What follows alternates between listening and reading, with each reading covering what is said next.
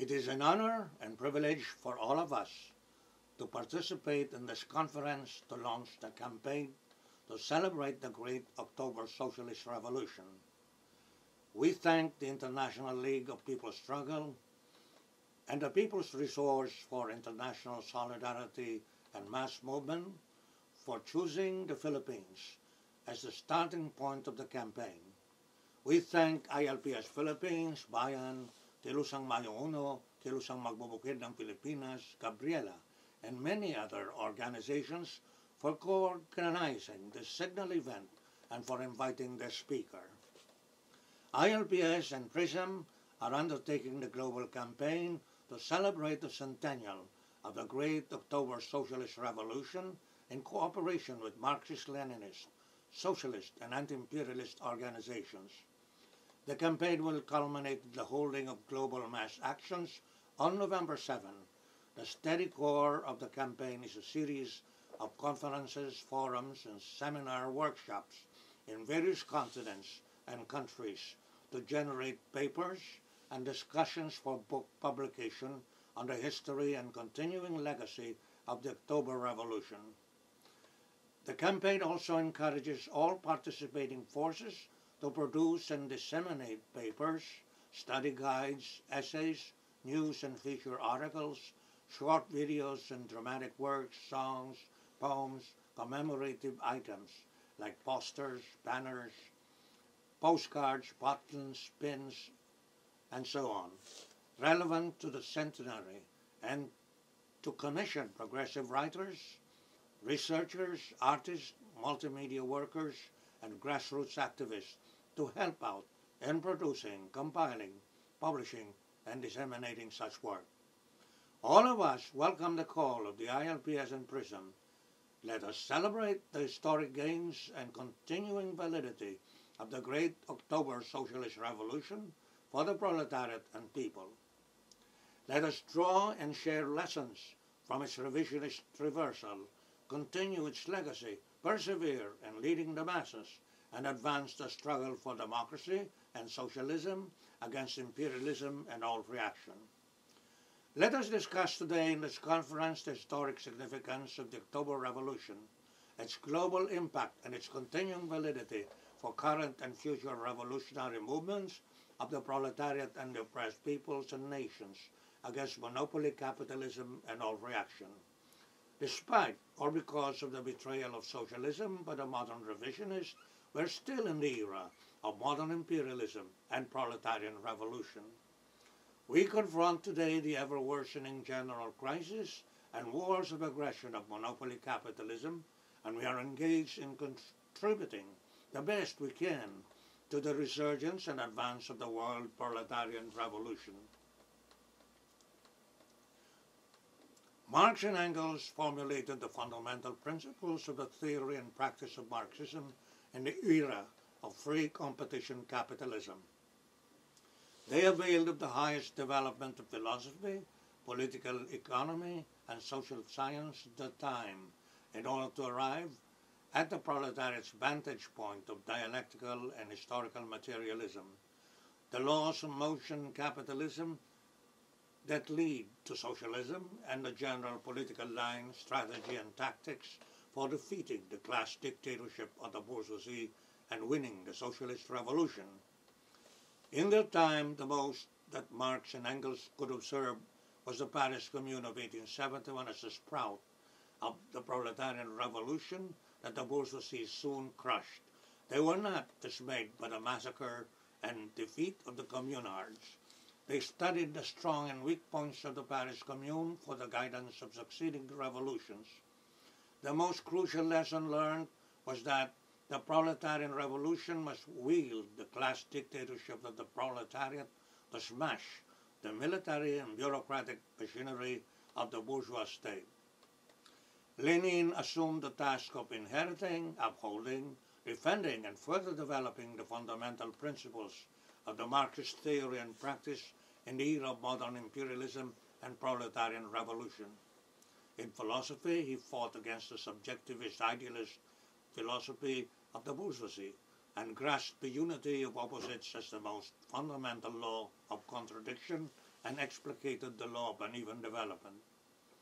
In political economy, he critiqued monopoly capitalism or imperialism and laid the foundation of the socialist economy in correspondence to the extent of proletarian power and took into account the transitory measures necessary to realize democratic reforms and cope with the exigencies of war and foreign intervention. Lenin was the Grand Master of social science who established the first socialist state in accordance with the principles of scientific socialism. He learned comprehensively, profoundly, and meticulously with all the necessary hindsight, insight, and foresight to solve problems and set the program of action and line of advance, and subsequently bring about the seizure of political power by the proletariat in concert with the broad masses of the people especially the peasants who constituted a large part of the population. He understood that on a global scale, by the law of uneven development, can engage only in the inadequate and spasmodic development of capitalism for the purpose of grabbing super profits, and that the proletariat and people could be mobilized to rise up and establish socialism at the weakest link in the chain of imperialist countries.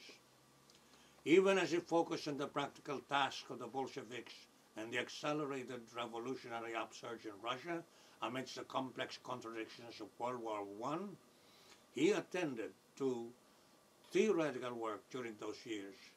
A large number of items in Lenin's philosophical notebooks relate to 1914 to 1916 and involved a thorough review of dialectics, in the first half of 1916, he wrote Imperialism, the highest stage of capitalism, and defined its decadent and moribund character and five features of dominance in industrial capitalist countries. Merger of industrial and bank capital to constitute finance capital. The great importance given to the export of capital than to that of commodities. The growth of cartels, syndicates, and other monopoly combines on a global scale he described imperialism as the eve of the socialist revolution and urged the proletariat and people to turn the imperialist war to revolutionary civil war. In the summer of 1917, he wrote State and Revolution to stress the necessity of the proletarian class dictatorship in overthrowing the bourgeoisie and building socialism.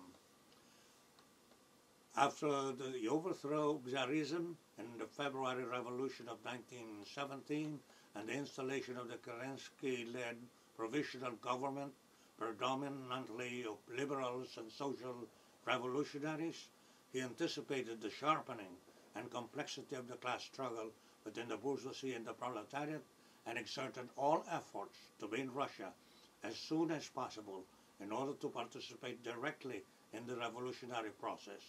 He was certain that the Kerensky government and the bourgeoisie were on the way down because they wished to stay in the inter-imperialist war, motivated as they were by social patriotism or chauvinism in socialist garb and revolutionary defensism.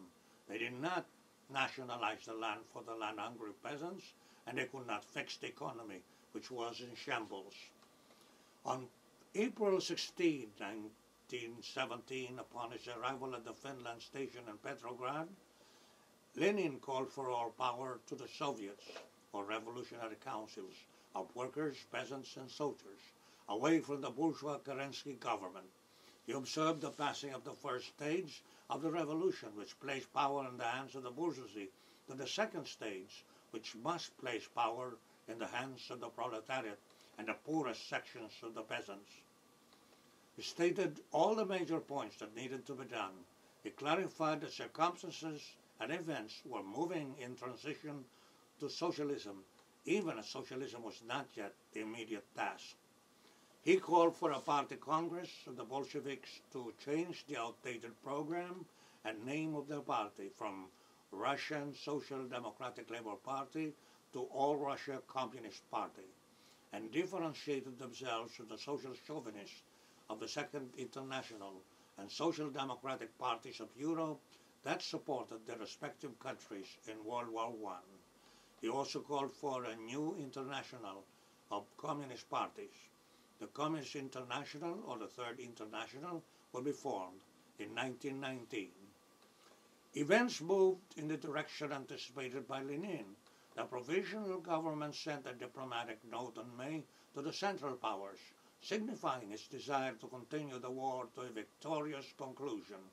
Tens of thousands of workers and soldiers of Petrograd, and subsequently those of other cities, under the leadership of the Bolsheviks, raised the slogans, Down with the war, and all power to the Soviets.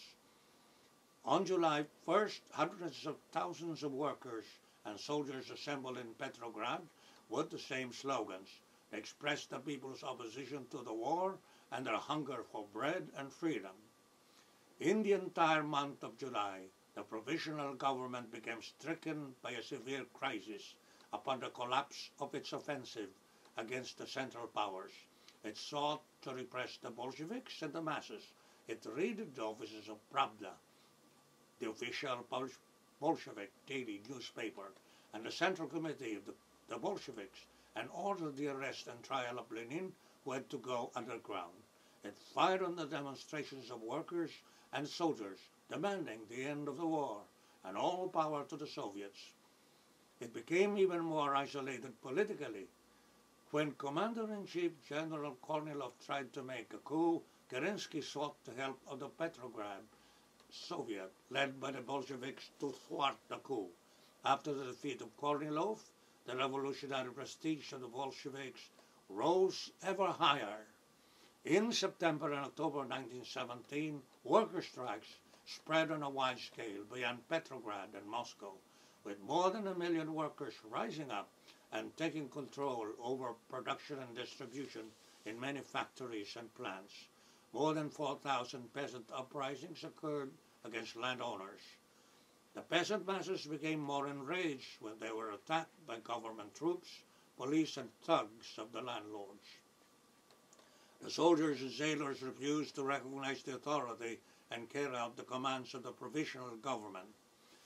On October 23, the Bolshevik Central Committee voted 10 to 2 in favor of the resolution declaring an armed uprising inevitable and the time for it fully ripe.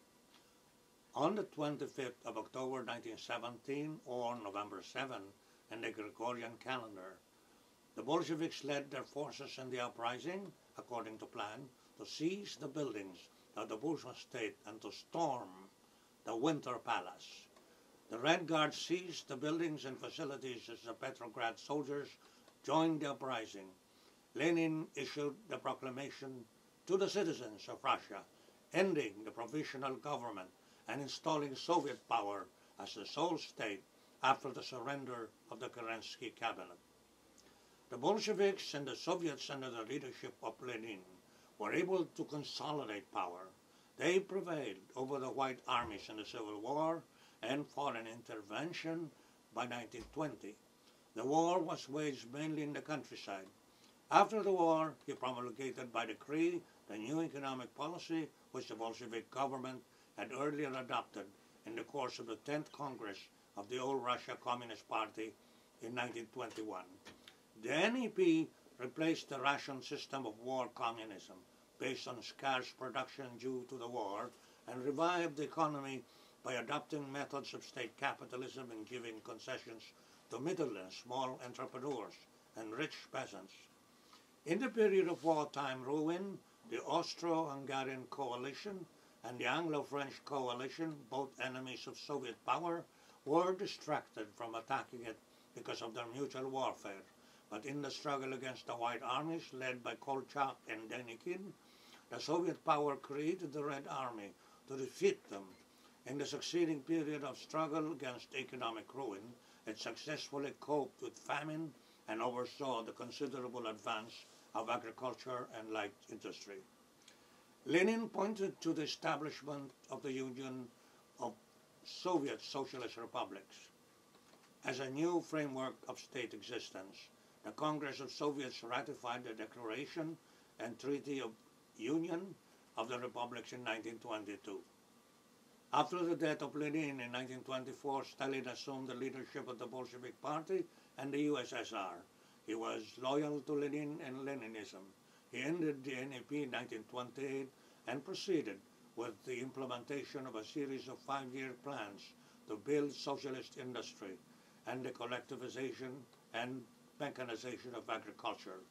These brought about resounding success in transforming the USSR into a powerful industrial federal state in the face of the worsening global economic crisis, the rise of fascism in several countries, and the looming outbreak of World War II. The Great October Socialist Revolution has come to signify all the great revolutionary achievements of the Bolshevik Party of Lenin and Stalin and socialist revolution and construction.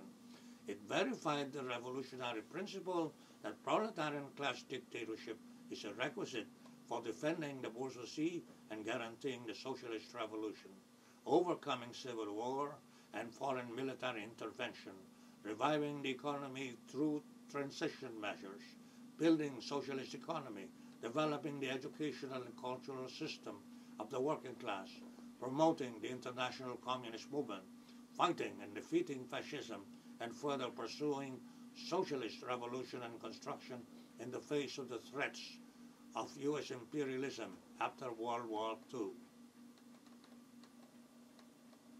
The salvos of the October Revolution reverberated throughout the world. The establishment and development of socialism from 1917 to 1956 on one-sixth of the surface of the earth cannot be ignored by the people of the world, especially the working class and the oppressed peoples and nations. The great achievements in socialist revolution and construction have the force of example, inspiring the oppressed and exploited masses to fight for a bright and better world in socialism. And the Communist Party led by Lenin made sure through the Third International that communist parties and revolutionary mass movements would arise and grow on a global scale, upholding the theory and practice of Marxism-Leninism and applying it under concrete conditions of various countries. The global impact of the October Revolution can also be measured in terms of the negative reaction of the imperialist powers and the international bourgeoisie. These have always been terrified by the specter of communism and wanted to strangle socialism in the cradle. Right after the October Revolution, from 1918 to 1920, the imperialist powers sent to Russia military forces of intervention, with Japanese forces staying on up to 1925 in northern Russia and Siberia to aid the counter-revolutionaries. But when the Great Depression occurred, it resulted in fascist rule in several capitalist countries, and the outbreak of World War II, the Allied powers could obtain victory against the Axis powers only because of the decisive roles of the Soviet Union in defeating the forces of Nazi Germany and China under the leadership of the Chinese Communist Party and likewise defeating the invasionary forces of fascist Japan. During and after World War II, the toiling masses under the leadership of communist parties excelled in fighting against fascism and gained political power in the process. The Soviet counteroffensive against the Nazi German forces led to the establishment of states under communist leadership in Eastern Europe up to East Germany. The victory of the Chinese people, led by the Communist Party, against Japan in 1945 and then against the Kuomintang in 1949 meant that one more large part of the world was lost by imperialism. National liberation movements spread and flourished, highlighted by the national wars of liberation against U.S. aggression in Korea and Vietnam. Newly independent countries promoted decolonization and national independence in Asia, Africa, and Latin America. By the 1950s, it could be said that one-third of humankind was under the socialist governance of the revolutionary parties of the proletariat and that the world was divided into the capitalist and socialist camps. However, soon after World War II, the U.S., together with its imperialist allies, girded for the Cold War against the Soviet Union and tried to use wars of aggression and nuclear blackmail. But the emergence and growth of modern revisionism from Khrushchev to Gorbachev became far worse and more lethal than the blatant threats and actions of U.S. imperialism in terms of subverting and destroying socialism in the Soviet Union and Eastern Europe. Comrade Mao led the Chinese Communist Party in the struggle to uphold Marxism, Leninism against modern revisionism since 1956. Eventually, he put forward his theory and practice of continuing revolution under the dictatorship of the proletariat through the great proletarian cultural revolution from 1966 to 1976 in order to combat modern revisionism, prevent the restoration of capitalism, and consolidate socialism in China. The GPCR obtained great victories but was eventually defeated by a coup with Deng Xiaoping at the head of the revisionist and capitalist restorationists soon after the death of Mao. At any rate, the GPCR succeeded in posing the problem of modern revisionism and presenting certain principles and methods for solving this problem and in generating the rich experience from which positive and negative lessons can be learned. The proletarian revolutions can learn from all these in order to explain the disintegration of the former socialist systems and to avert the restoration of capitalism when in the future they shall build and develop socialist societies in various countries until they can defeat imperialism on a global scale and bring about communism. The Paris Commune of 1871 won for a while and was soon defeated, but became a source of principles, methods, and lessons for advancing the world proletarian revolution. In the period of temporary strategic retreat of socialism on a global scale, communist and revolutionary mass activists must be able to answer the questions of the proletariat and people about the past, present, and future of the revolutionary cause of socialism. They must answer effectively the taunts of the imperialists and their petty bourgeois adjutants that socialism is dead and that capitalism is the end of history. They must be able to do so in terms of philosophy, political economy, and social science. In this regard, the Communist Party of the Philippines is one of the parties upholding the banner of Marxism, Leninism, Maoism, and the torch of socialism in the transition from strategic retreat to the counteroffensive of the revolutionary proletariat. In terms of dialectical and historical materialist philosophy, nothing is permanent but change. Social systems have come and gone, like slavery and feudalism, which existed for thousands of years. Capitalist society, which first appeared autonomously in the Italian city-states in the 13th century, has probably a shorter lifespan than the earlier social formations that we take into account the rapid development of free competition capitalism to monopoly capitalism in the cumulative advance of history. The bourgeoisie adopts higher technology and minimizes wage payments in order to increase private profit. But the proletariat and the oppressed peoples and nations can be aroused, organized, and mobilized to resist and change the oppressive and exploitative relations with imperialism and the ruling bourgeoisie in every country. They have seen how national liberation people's democracy and socialism can be achieved. In terms of the critique of capitalism and modern imperialism in political economy, Marx has long pointed out the laws of motion of capitalism both in his microscopic study of the commodity and in his macro study of mass production of finance.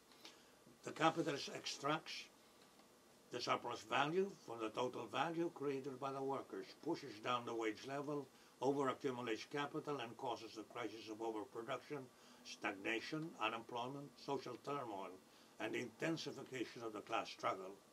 Lenin laid bare how free competition capitalism leads to monopoly capitalism and how the latter brings out the worst of capitalism, goading the proletariat and people of both developed and underdeveloped countries to rebel and seek a revolutionary solution.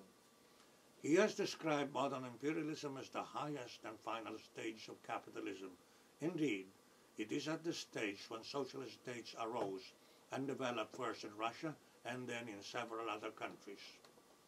In terms of fighting for and achieving scientific socialism and social science, the Revolutionary Party of the Proletariat has the advanced attachment must grasp Marxism, Leninism, Maoism at this time and make a concrete analysis of the concrete conditions in which ever country such party operates.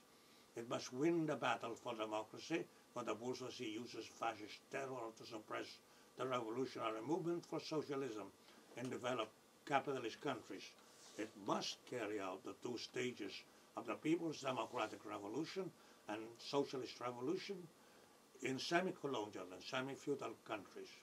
In any case, the Proletarian Revolutionary Party must arouse, organize, and mobilize the broad masses of the people to overthrow the class dictatorship of the bourgeoisie and install that of the proletariat as the key to socialism.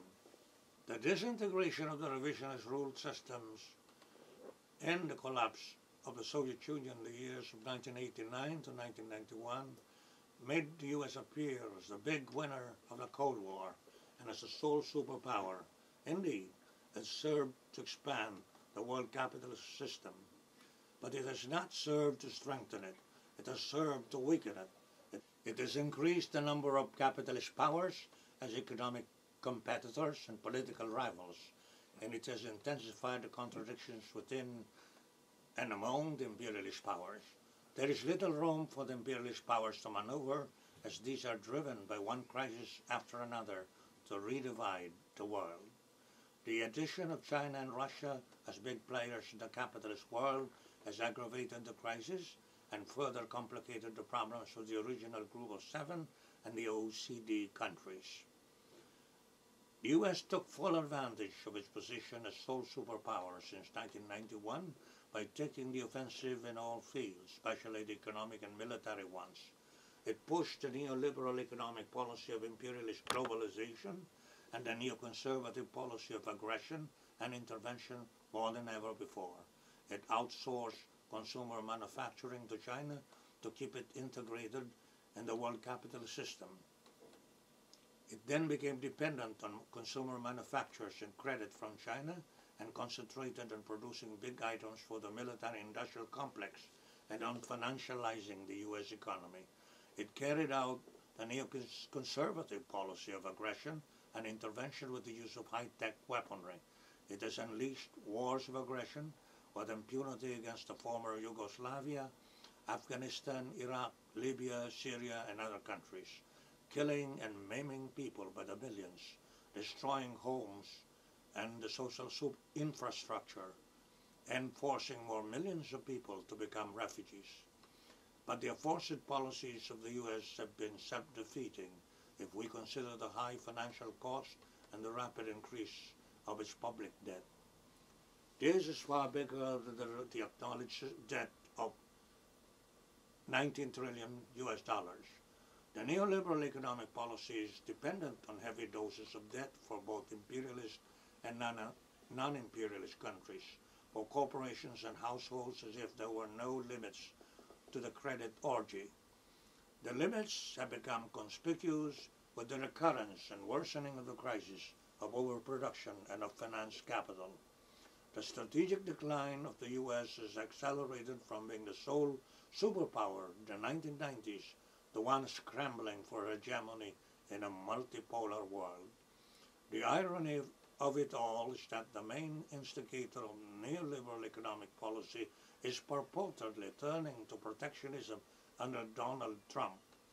Thus, they all to hear the mantra that the key to increasing production and employment is to let the monopoly bourgeois have more capital to reinvest by being given tax cuts and by pressing down wages, cutting back on social services, and carrying out liberalization, privatization, deregulation of economies, and denationalization of client states. The concentration and centralization of capital in imperialist countries and in the hands of a handful of monopoly bourgeois have resulted in widespread unemployment, poverty, and social unrest. But the reaction of the U.S. and other imperialist powers is to whip up national chauvinism, military production, state terrorism, and wars of aggression. The escalation of exploitation and oppression by the imperialists and the reactionary puppets in various countries is inflaming the resistance of the proletariat and people of the world. The epochal struggle between the bourgeoisie and the proletariat continues. So do all the concrete forms of national and class struggles in various countries. The people do not wish the greed and violence of the few to victimize them without end. They fight for national and social liberation from imperialism and reaction, and they strive for greater freedom and social justice to prevail under the principles of scientific socialism. There is an urgent need for the revolutionary party of the proletariat in many countries. Such a party must uphold the Marxist-Leninist Maoist ideological line against modern revisionism and all forms of subjectivism and must be politically capable of leading the proletariat and people through the anti-imperialist and democratic mass movement. It must ensure that the general political line can bring about the victory of, of democracy and socialism and defeat imperialism and all forms of reaction and must not be led astray by either left or right opportunism. It must concentrate the collective will and material strength of the proletarian revolutionaries by following the organizational principle of democratic centralism. The crisis conditions of the moment generate immediate issues of the struggle against monopoly capitalism and local reaction. But in recruiting, training, and developing their members, the revolutionary parties of the proletariat must inculcate in them the historic mission of building socialism up to the theory and practice of continuing revolution under proletarian dictatorship. We must counter the propaganda of the enemy that socialism is successful only up to a certain point and then fails because of the inherent selfish and asocial nature of people and their leaders. And we must assure the proletariat and the people that there is no alternative to capitalism but socialism, that modern revisionism and the restoration of capitalism can be prevented, and that socialism can be consolidated repeatedly until it gains the upper hand over imperialism on a global scale and reaches the threshold of communism.